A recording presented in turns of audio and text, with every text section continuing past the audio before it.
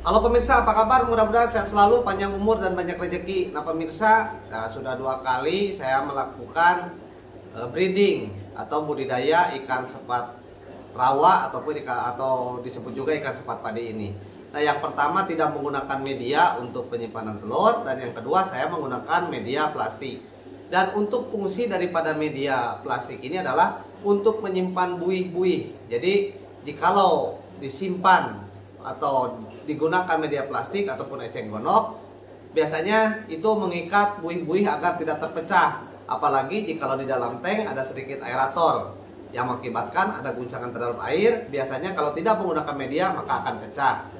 Dan sudah saya lakukan seperti ini menggunakan media jadi si buih-buihnya itu terikat. Tapi saya belum melihat bagaimana jumlah daripada penetasan yang menggunakan media dan juga yang tidak menggunakan media dapat dilihat daripada jumlah telur yang menetas. Tapi mudah-mudahan ya menggunakan media ini semuanya menetas dan kemarin pun tanpa menggunakan media alhamdulillah penetasan cukup banyak.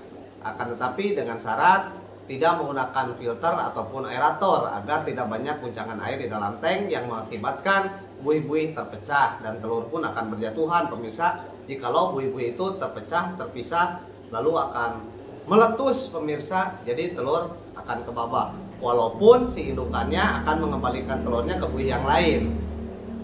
Kali ini secara naluri ikan sepat akan menempelkan buih-buihnya di bawah media plastik ini yang saya simpan pemirsa. Jadi sudah secara otomatis lah ikan sepat pun mungkin tahu mengetahui karakternya dia seperti apa. Jika kalau mau bertelur maka dia akan menyimpan buihnya juga telurnya di bawah media. Yang saya gunakan adalah media potongan plastik ini pemirsa. Tapi plastik yang ringan karena ada plastik juga yang gampang tenggelam. Jadi saya menggunakan plastik tipis plastik yang biasa di warung-warung itu pemirsa. Nah alhamdulillah sekarang sudah mulai berbuih. Dan dilihat juga si ikannya perut untuk betina masih kembung jadi belum mengeluarkan telur. Nah kita tunggu sampai dia betul-betul kawin dan menyimpan telurnya di media ini pemirsa. Nah kita lihat saja nanti perkembangannya seperti apa pemirsa. Jangan lupa ikutin terus channel kami. Terima kasih yang sudah like dan subscribe. Assalamualaikum warahmatullahi wabarakatuh